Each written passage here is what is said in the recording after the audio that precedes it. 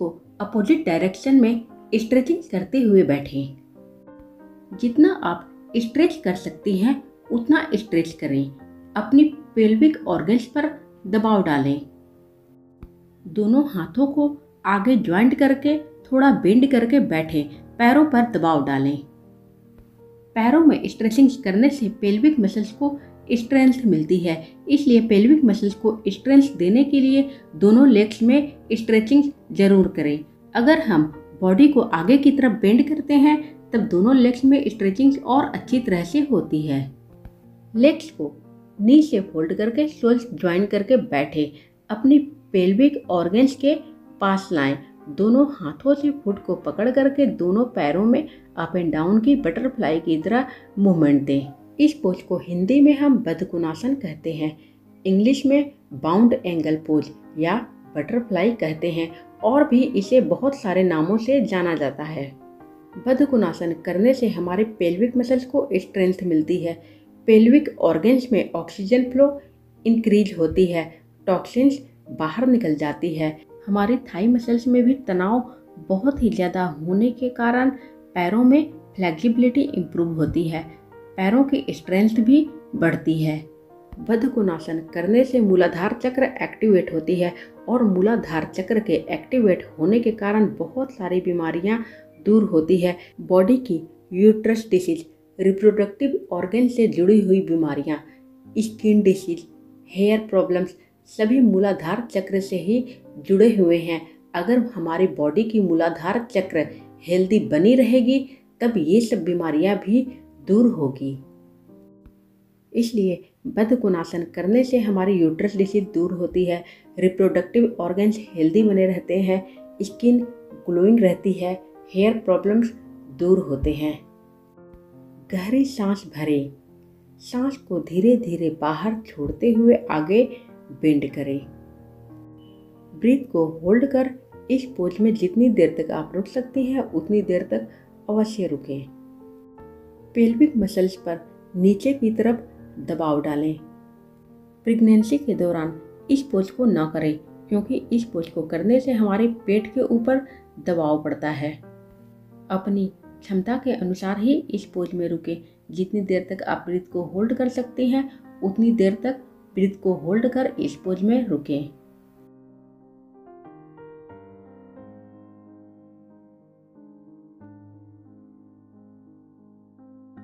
कुछ सेकेंड्स के बाद इनहेल के साथ, यानी सांस भरते हुए धीरे धीरे बॉडी को ऊपर उठाएँ। एक्जेल के साथ नॉर्मल कंडीशन में आए। दो से तीन बार तक इस पोज को अवश्य दोहराएँ। अब लोटस पोज में बैठें, क्योंकि अब हम करने जा रहे हैं कपाल भाती। अपनी स्पाइन को स्ट्रेट रखें, यानी बैक को स्ट्रेट रखते हुए बैठें। आँखें बंद रखें, हाथों को ध्यान मुद्रा में रखें और पेट को अंदर की तरफ़ प्रेस करते हुए ब्रीद आउट करें। नोस्ट्रल से ब्रीद आउट करें। इनहेल इसमें हम नहीं ले रहे हैं। इनहेल ऑटोमेटिक हो रही है। पूरा ध्यान हमें अपनी ब्रीद आउट के ऊपर ही रखना है। जितनी बार हम पेट को अंदर की तरफ़ प्रेस करेंगे, उतनी बार नोस्ट्रल से ब्रीद आउट करेंगे। माउथ अपनी बंद रखें। शुरुआत में धीरे धीरे ब्रीद आउट करें। वन सेकेंड वन स्ट्रोक धीरे धीरे प्रैक्टिस होने के बाद स्पीड में ब्रीद आउट करें। कपाल भाती करने से हमारी बॉडी की टॉक्सिन्स बाहर निकलती है। ब्रीद आउट के थ्रू बाहर निकलती है। हमारी हार्ट में ऑक्सीजन लेने की सतह बढ़ती है, यानी हमारी हार्ट में ऑक्सीजन फ्लो इंक्रीज होती है। कपाल भाती करने से हमारी बॉडी के अंदर बहुत ही ज़्यादा गर्मी पैदा होती है, जिसके कारण मोटापा दूर होता है। यानी ओबेसिटी रिड्यूस होती है। अब है पश्चिम पश्चिमोत्तासन यानी सीटेड फॉरवर्ड बेंड पैरों को सामने स्ट्रेट और पैरालेल रखें। इनहेल के साथ दोनों हाथों को अपनी हेड के ऊपर उठाएँ। सांस छोड़ते हुए सामने बॉडी को बेंड करें। हेड को अपनी घुटनों पर टिका करके ब्रीथ को होल्ड कर इस पोज में रुकें। शुरुआत में आप अपनी बॉडी को जितना बेंड कर सकते हैं, उतना ही बेंड करें। धीरे धीरे आपकी बॉडी फ्लेक्सिबल हो जाएगी और यह पोज आसानी से होने लगेगी। कुछ सेकंड्स के बाद इनहेल के साथ अपनी बॉडी को धीरे धीरे ऊपर उठाएँ। दोनों हाथों को सीधे उठाते हुए हेड के ऊपर ले जाएँ। एक्जिल के साथ दोनों हाथों को फ्लोर पर लाएँ। अब हम करेंगे मत्स्यासन। इंग्लिश में हम इसे फ़िश पोज कहते हैं। लोटस पोज में बैठें। दोनों हाथों को बैक की तरफ़ फ्लोर पर टिकाएँ। दोनों हाथों की सपोर्ट से धीरे धीरे बॉडी को पीछे की तरफ़ बेंड करें। हेड की टॉप को फ्लोर पर टिकाएँ। अपने चेस्ट को फ्लोर के ऊपर पुश करें। बैक आपकी फ्लोर के ऊपर है। दोनों हाथों से पैरों की अंगूठों को पकड़ें। गहरी सांस भरें। गहरी सांस छोड़ें। अपनी निगाहों को फ्लोर के ऊपर रखिए। इस पोज से थायराइड डिसीज भी दूर होती है। हमारी यूट्रस को स्ट्रेंथ मिलती है। लोअर एब्डोमिनल ऑर्गन से टॉक्सिन्स बाहर निकल जाती है। इस तरह लोअर एब्डोमिनल ऑर्गन्स में ऑक्सीजन फ्लो इंक्रीज होती है और लोअर एब्डोमिनल ऑर्गन से जुड़ी हुई बीमारियाँ दूर होती है। इस पोज में हमारी बैक चेस्ट कंधा फ्लोर के ऊपर है। हेड हिप्स थाइज फ्लोर पर टिकी हुई हैं। अपनी बैक और चेस्ट को, फ्लोर के ऊपर जितना हम पुश करेंगे, उतना ही हमें फ़ायदा पहुंचेगा अपनी क्षमता के अनुसार इस पोज में रुकें एक मिनट के बाद दोनों हाथों की सपोर्ट से धीरे धीरे बॉडी को वापस लाएँ। ये सभी योगा पोज पीसीओडी और यूट्रस डिसीज को दूर करने में बहुत ही ज़्यादा सहायक है अब हम करने जा रहे हैं यूट्रस पोज सीधे लेट जाएँ। अपने दोनों पैरों को नी से फोल्ड करके सोल्स को ज्वाइन करके ऊपर उठाएँ। दोनों हाथों से फुट को पकड़ करके टोच से नोज़ को टच करें। इस पोज को हम यूट्रस पोज कहते हैं। हिंदी में गर्भाशय कहते हैं। एक से दो मिनट तक इस पोज में ज़रूर रुकें। किसी भी योगासन का फ़ायदा हमें तभी पहुंचेगा जब हम किसी पोज में कुछ देर के लिए रुकेंगे। इस पोज से यूट्रस डिसीज, पीसीओडी इत्यादि दूर होती है। कुछ सेकेंड्स के बाद धीरे धीरे दोनों पैरों को वापस फ्लोर पर लाएँ। इन सभी योगा पोज से बॉडी की एक्सटर्नल और इंटरनल फ्लेक्सिबिलिटी इम्प्रूव होती है। ओबेसिटी भी रिड्यूस होती है। गहरी सांस भरते हुए दोनों पैरों के नीच को चेस्ट के पास प्रेस करें। सांस छोड़ते हुए नोट से नीच को टच करें। कुछ सेकंड्स के लिए ब्रीथ को होल्ड कर इस पोज में रुकें। यह है गैस रिलीज़ पोज, यानी पवन मुक्त आसन इस पोज से हमारे डाइजेस्टिव ऑर्गन्स को स्ट्रेंथ मिलती है, गैस की प्रॉब्लम्स दूर होती है। इनहेल के साथ बॉडी को वापस फ्लोर पर टिकाएँ। अब करेंगे मंडूकासन। पैरों को फोल्ड करके वज्रासन पोज में बैठें। अपनी हिप्स को पैरों की सोल्स के ऊपर रखें। दोनों हाथों को दोनों नीज के ऊपर रखें। बैक को स्ट्रेट रखें। वज्रासन पोज में कुछ सेकेंड्स के लिए रुके। एक लंबी, गहरी सांस धीरे धीरे अपने अंदर भरें। फिर धीरे धीरे बाहर छोड़ें। अब अपनी पेट को अंदर की तरफ़ प्रेस करें। नाभि के ऊपर राइट हथेली को रखें और प्रेस करें। फिर उसके ऊपर लेफ़्ट हथेली को रखें और पेट को अंदर की तरफ़ प्रेस करें। सांस छोड़ते हुए बॉडी को आगे बेंड करें। ब्रिथ को होल्ड कर इस पोज में रुके। सामने देखती रहें। ब्रीथ को होल्ड कर इस पोज में जितनी देर तक आप रुक सकते हैं, उतनी देर तक अवश्य रुके। यह है मंडुकासन। इस पोज से डायबिटीज़ भी दूर होती है। इनहेल के साथ धीरे धीरे बॉडी को ऊपर उठाएँ। दो से तीन बार इस पोज को अवश्य दोहराएँ। दोनों हथेलियों से पेट को अंदर की तरफ़ प्रेस करें, गहरी सांस भरें, सांस छोड़ते हुए बॉडी को आगे बेंड करें। ब्रीथ को होल्ड कर इस पोज में रुकें। जितनी देर तक आप रुक सकते हैं, उतनी देर तक अवश्य रुकें। अपनी क्षमता के अनुसार रुकें। इनहेल के साथ धीरे धीरे बॉडी को ऊपर उठाएँ। एक्जिल के साथ हथेलियों को वापस फ्लोर पर लाएँ। अब करेंगे अर्ध शीर्षासन या हाफ़ हेड स्टैंड पोज हथेलियों की फिंगर्स को इंटरलॉक करें और उसे फ्लोर पर रखें। अपने हेड को दोनों हथेलियों के बीच में रखें। दोनों हथेलियों से सपोर्ट देते हुए धीरे धीरे अपने बैक को ऊपर की तरफ़ उठाएँ। दोनों लेग्स को स्ट्रेट रखें। यह है अर्ध शीर्षासन या हाफ़ हेड स्टैंड पोज इस पोज में ब्लड सर्कुलेशन हमारी हेड की तरफ़ होता है। ब्लड सर्कुलेशन हेड की तरफ़ इंक्रीज होने के कारण मानसिक तनाव दूर होती है। स्ट्रेस एंजाइटी दूर होती है। डिप्रेशन के भी रोगियों के लिए यह पोज बहुत ही ज़्यादा फ़ायदेमंद साबित होता है। एक से दो मिनट तक इस पोज में रुकें। थोड़ी देर के बाद धीरे धीरे बॉडी को वापस फ्लोर पर लाएँ और रेस्ट करें। आगे है सेतु बंधासन यानी ब्रिज पोज पैरों को घुटने से होल्ड करें, थोड़ी डिस्टेंस में रखें। दोनों हाथों को अपनी थाइज के पास रखें पाम्स की फेसिंग डाउनवर्ड इनहेल के साथ धीरे धीरे अपनी बैक को ऊपर उठाएँ। ब्रीथ को होल्ड कर इस पोज में रुके यानी अपनी सांस को रोककर हमें इस पोज में रुकना है, तभी हमें फ़ायदा पहुंचेगा कुछ लोग नॉर्मल ब्रीदिंग्स में इस पोज में रुकते हैं, उन्हें ज़्यादा फ़ायदा नहीं पहुँचता है थोड़ी देर के बाद धीरे धीरे सांस छोड़ते हुए बॉडी को वापस फ्लोर पर लाएँ। दो से तीन बार इसे अवश्य दोहराएँ। अब हमें करना है नौकासन, यानी बोट पोज सीधे लेट जाएँ। इनहेल के साथ अपनी बॉडी को ऊपर उठाएँ।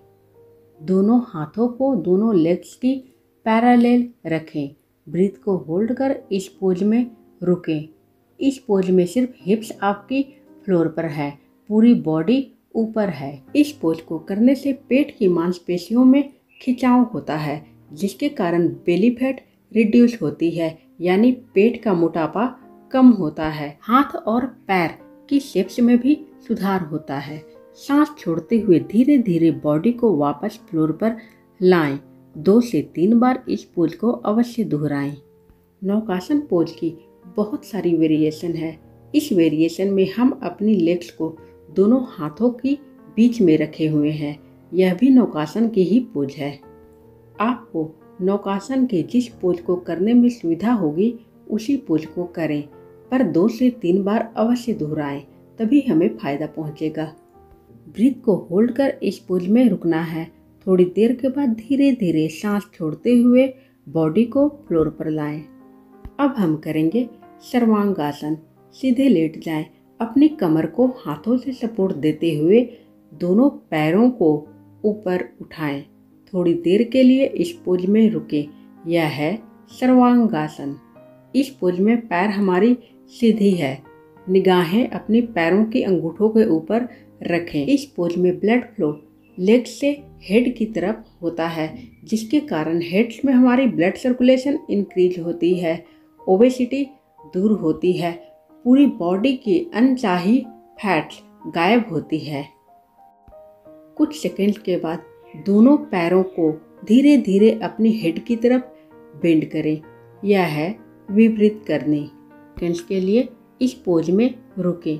थोड़ी देर के बाद अपने एक लेग के नी को फोल्ड कर हेड के ऊपर रखें। फुट को दूसरी लेग के नी के ऊपर रखें। कुछ सेकंड्स के लिए इस पोज में रुकें। दोनों पैरों में इस पोज को दोहराएँ। इस पोज को करने से यूट्रस डिसीज दूर होती है। बहुत सारी बीमारियाँ दूर होती है। मोटापा भी दूर होता है। कम से कम एक से दो मिनट तक इस पोज को अवश्य दोहराएँ। फिर थोड़ी देर के बाद दोनों पैरों को एक साथ ऊपर उठा करके धीरे धीरे अपनी हेड की तरफ़ बेंड करें और फ्लोर के ऊपर लाएँ। यह है हलासन। इस पोज में रुकें। जितनी देर तक आप रुक सकती हैं, उतनी देर तक अवश्य रुकें। हलासन करने से स्ट्रेस एंजाइटी पूरी तरह से दूर होती है। हमारे यूट्रस में कंसीव करने की क्षमता बढ़ती है ओबेसिटी भी दूर होती है। हमारी बैकबोन फ्लेक्सिबल होती है बैक पेन दूर होती है, पूरी बॉडी फ्लेक्सिबल होती है। हमारी बॉडी एक्टिव रहती है, हम किसी भी काम को मन लगा करके करते हैं। थोड़ी देर के बाद धीरे धीरे दोनों पैरों को ऊपर उठाएँ धीरे धीरे होल्ड करते हुए वापस फ्लोर पर लाएँ और रेस्ट करें। कुछ देर के लिए रेस्ट अवश्य करें। आगे है चक्रासन जिसे इंग्लिश में व्हील पोज कहा गया है। पहले चक्रासन की इजी स्टेप्स करते हैं। लेट जाएँ, अपने हाथों की सपोर्ट से बॉडी को ऊपर उठाएँ। यह है चक्रासन। इस पोज में आपकी बॉडी व्हील के समान है इसलिए इसे व्हील पोज कहा गया है। व्हील पोज करने से मोटापा दूर होता है। बॉडी की फ्लेक्सिबिलिटी इम्प्रूव होती है। थायराइड डिसीज दूर होती है। बैक पेन भी दूर होती है। लोअर एब्डोमिनल ऑर्गेन्स हेल्दी बने रहते हैं। हेयर से जुड़ी हुई समस्याएँ और स्किन से जुड़ी हुई समस्याएँ दूर होती है। कुछ समय इसी पोज में रहने के बाद धीरे धीरे बॉडी को नीचे लाएँ। अब हम व्हील पोज की डिफ़िकल्ट स्टेप्स करेंगे। इसमें सीधे खड़े हो जाए। फिर धीरे धीरे बॉडी को पीछे की तरफ़ बेंड करें। सावधानी पूर्वक बेंड करें। जिन लोगों को अच्छी तरह से प्रैक्टिस है, वे लोग ही इस तरह चक्रासन करें और अन्य लोग लेट कर ही चक्रासन करें। अच्छी तरह से प्रैक्टिस होने के बाद चक्रासन की ये डिफ़िकल्ट स्टेप्स को अपनाएँ। स्टार्टिंग्स में सोफा या बेड की सपोर्ट लेकर चक्रासन करें। धीरे धीरे प्रैक्टिस होने के बाद फ्लोर पर चक्रासन करें। सभी योगा पोज में चक्रासन एक अमेजिंग पोज है। इस पोज को करने से बहुत सारी समस्याएँ दूर होती है। हमारी बॉडी की सभी साइकिल्स एक्टिवेट होती है। हमारी बॉडी के अंदर एक अद्भुत ऊर्जा का प्रवाह होता है। इसलिए सभी को चक्रासन अवश्य ही करनी चाहिए। बॉडी हमारी सुगठित होती है। जो लोग मोटापे से परेशान हैं, उनकी ओबेसिटी भी दूर होती है। इसलिए चक्रासन बहुत सारी समस्याओं को दूर करता है। इसलिए आप चक्रासन की प्रैक्टिस अवश्य करें और इस अमेजिंग पोज को रोज़ाना करके एक अद्भुत स्ट्रेंथ अपने अंदर पाए। क्योंकि चक्रासन करने से हमारी सभी इंटरनल ऑर्गन्स की स्ट्रेंथ इंक्रीज होती है और सभी इंटरनल ऑर्गन्स में ऑक्सीजन युक्त ब्लड सर्कुलेट होती है। इंटरनल ऑर्गन्स की टॉक्सिन्स बाहर निकल जाती है। टॉक्सिन्स के बाहर निकलने के कारण ही बहुत सारी बीमारियाँ दूर होती है। थायराइड डिसीज भी दूर होती है। इस तरह चक्रासन के बहुत सारे फ़ायदे हैं। जो लोग बेली फैट से परेशान हैं, उन्हें तो चक्रासन अवश्य ही करने चाहिए, क्योंकि चक्रासन करने से बढ़ा हुआ पेट अंदर चले जाता है। चक्रासन बेली फैट को रिड्यूस करता है। चक्रासन करने से मेटाबॉलिज्म इंक्रीज होती है इम्यूनिटी इंक्रीज होती है डाइजेस्टिव ऑर्गन्स एक्टिवेट होते हैं, इस तरह कॉन्स्टिपेशन भी दूर होती है। कुछ समय तक इसी पोज में रहने के बाद धीरे धीरे बॉडी को वापस लाएँ। अब हम करेंगे उष्ट्रासन इंग्लिश में कैमल पोज कहते हैं। अपने घुटनों पर खड़े हो जाएँ। बॉडी को धीरे धीरे पीछे बेंड करें। दोनों हाथों को पैरों की सोल के ऊपर टिकाएँ। यह है उष्ट्रासन इस पोज में कुछ देर के लिए रुके। उष्ट्रासन करने से हमारे पेल्विक मसल्स को स्ट्रेंथ मिलती है। बैकबोन की फ्लेक्सिबिलिटी इम्प्रूव होती है। हमारी हार्ट में ऑक्सीजन एब्जॉर्ब करने की सतह बढ़ती है। इस तरह हमारी हार्ट भी हेल्दी बनी रहती है। उष्ट्रासन यानी कैमल पोज थायराइड डिसीज को दूर करने में सहायक है। उष्ट्रासन करने से यूट्रस डिसीज भी जड़ से दूर होती है। कुछ देर इसी पोज में रहने के बाद धीरे धीरे बॉडी को वापस लाएँ। अब हम पूर्ण उष्ट्रासन करेंगे। इसमें हम अपनी बॉडी को पीछे बेंड करके हेड को फ्लोर पर टिकाएँगे।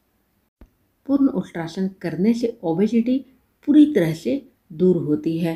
यानी मोटापा को दूर करने में पूर्ण उष्ट्रासन बहुत ही ज़्यादा सहायक है। पर यह पोज बहुत ही ज़्यादा डिफ़िकल्ट है, इसलिए अच्छी तरह से प्रैक्टिस होने के बाद ही पूर्ण उत्तरासन करें। स्टार्टिंग में आपकी बॉडी जितना बेंड हो सके उतना ही बेंड करें। धीरे धीरे प्रैक्टिस होने के बाद यह पोज आसानी से होने लगेगा।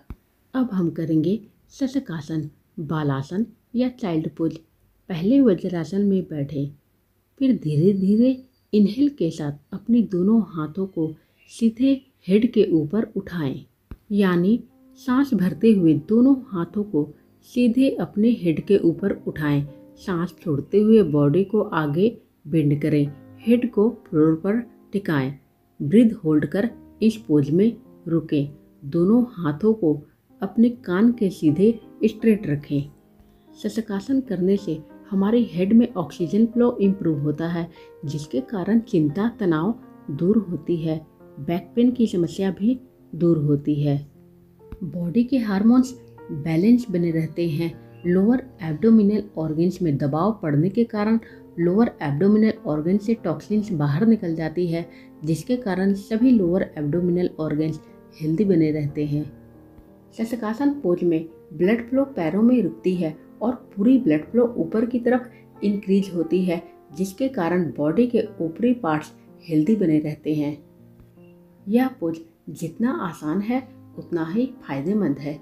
इसलिए आपको इसकी प्रैक्टिस अवश्य करनी चाहिए। यह कोई डिफ़िकल्ट पोज भी नहीं है। जो लोग शशकासन करते हैं, उन्हें डिप्रेशन कभी नहीं होती है और जो लोग डिप्रेशन के शिकार हैं उनकी डिप्रेशन भी दूर होती है। कुछ देर के बाद इनहेल के साथ अपनी बॉडी और दोनों हाथों को हेड के ऊपर उठाएँ। एक जेल के साथ फ्लोर पर लाएँ।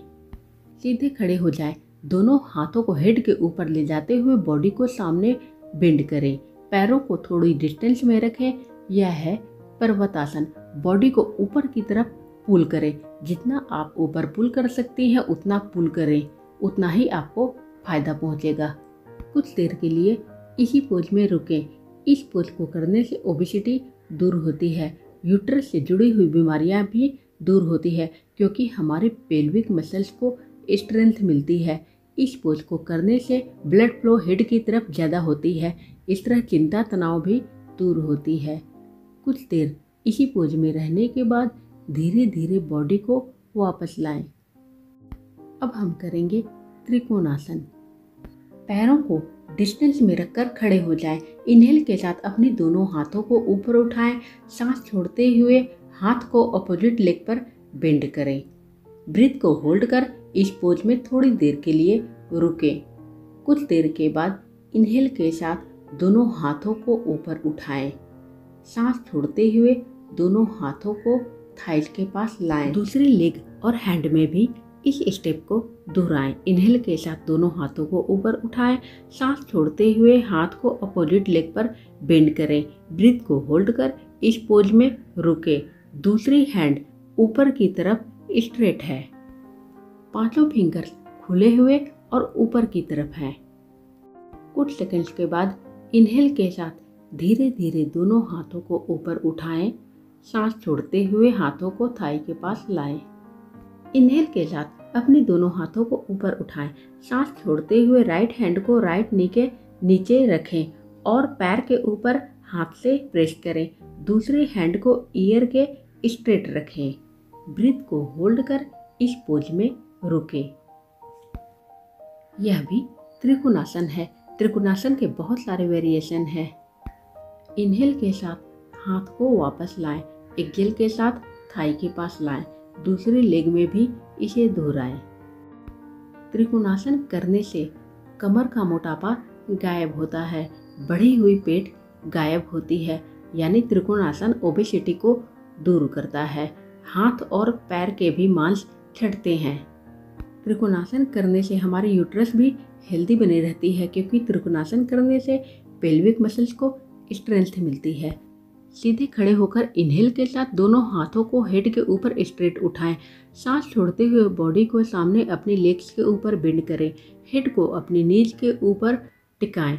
ब्रिथ को होल्ड कर इस पोज में रुके। इसे हम स्टैंडिंग फॉरवर्ड बेंड या जानुसिरासन कहते हैं। कुछ समय इसी पोज में रुकने के बाद इनहेल के साथ दोनों हाथों को अपने हेड के ऊपर स्ट्रेट उठाएँ। सांस छोड़ते हुए दोनों हाथों को थाई के पास लाएँ। दोबारा इसे देखें। इनहेल के साथ दोनों हाथों को ऊपर उठाएँ। सांस छोड़ते हुए सामने अपने पैरों पर बॉडी को बेंड करें। ब्रिथ को होल्ड कर इस पोज में रुकें। कुछ समय रुकने के बाद इनहेल के साथ अपने दोनों हाथों को सीधे हेड के ऊपर स्ट्रेट उठाएँ। सांस छोड़ते हुए दोनों हाथों को अपनी थाई के पास लाएँ। इन सभी योगा पोज को करने से यूट्रस डिज़ीज़ दूर होती है ओबेसिटी दूर होती है, बहुत तरह की बीमारियाँ दूर होती है। Thanks for watching